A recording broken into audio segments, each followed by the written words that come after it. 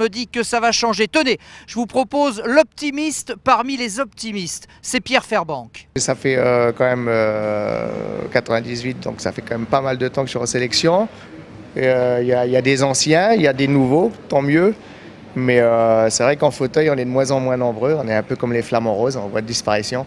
Mais, euh, mais on essaye de, de, motiver des jeunes et tout ça. Mais le niveau est tellement élevé que c'est pas évident. Maintenant, il faut beaucoup plus de soutien pour pour qu'ils puissent y arriver.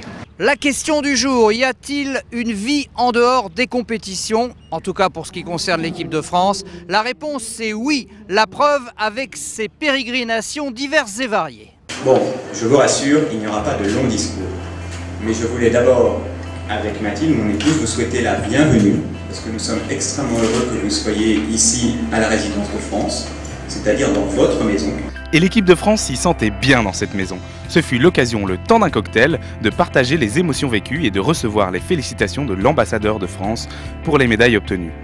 Les médias locaux étaient eux aussi de la fête et en profitèrent pour glaner de nouvelles interviews.